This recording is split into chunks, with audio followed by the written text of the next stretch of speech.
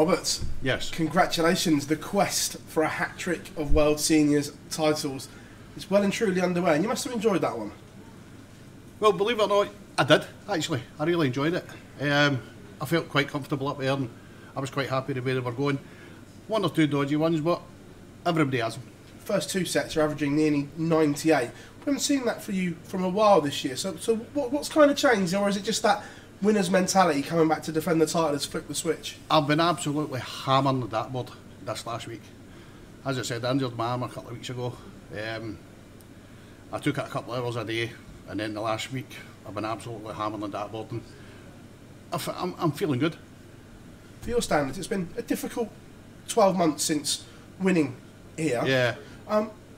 How have you reacted to that, and how have you tried to put that right? Um, more grit and determination. Just don't give in. Just keep going. Keep playing. If they're going to go, they're going to go. If they don't, well, you've got the next one. A fire in the belly being written off. Obviously, there's a few new names in it this year, and people talking about fellow Scotsman John Henderson, Richie Burnett. Is that, is that giving you a little bit? Hang on a minute, I'm still top dog. The fire in the belly never goes, mate. Never goes. You always want to keep winning. That's it.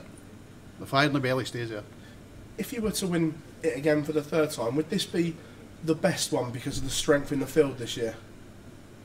To be honest with you, no, I think the best one was the first one. The inaugural one, the very first one. Um, but winning it, winning it for a third year with the, the quality of the field, and I'm not taking nothing away because the quality of the field the last couple of years have been brilliant as well. Um, winning it for a third time would be absolutely exceptional. We saw what it meant to you up there. That was a massive celebration when, when that winning Double when that when, when it when it went in. Does this show what the World Seniors means to you? It just shows what darts means to every serious dart player out there. Not just me. I mean, it's I got up there now. Whether I win a leg or no, I mean, I'll celebrate. It's do you know what I mean? It's I am I do what I do. People do what they do, and I think it means a lot to everybody. Everybody wants to win it. Well, many congratulations. Thank you, mate. Robert, that was a game played at a ferocious pace. Did that, shoot, did that suit your best game? I think at some stage I was thrown a little bit too quick. Um, and then I kind of had to check myself a little bit in a couple of legs and just slow down a little bit. And then I think I slowed down a little bit too much. And then I, I found my happy medium in it.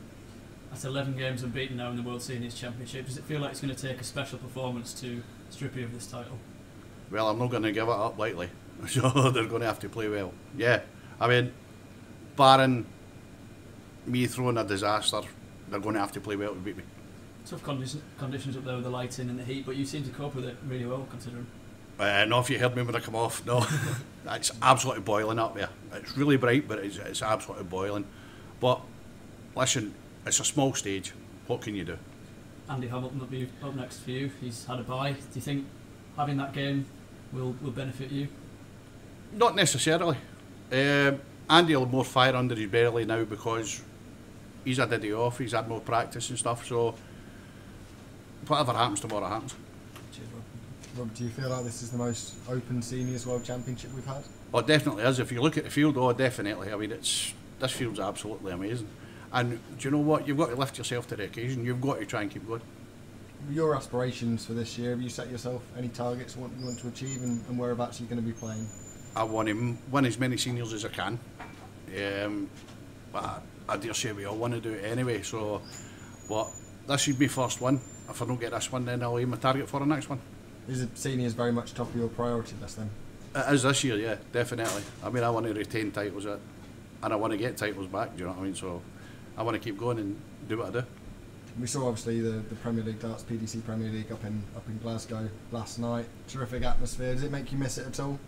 To be honest with you, no, because when you come to places like this, I mean, even though it's a small crowd, but it still sounds as loud. Do you know what I mean? Mm. And yeah, I do, I do miss it. But to be honest with you, I don't think I could do all the travelling again.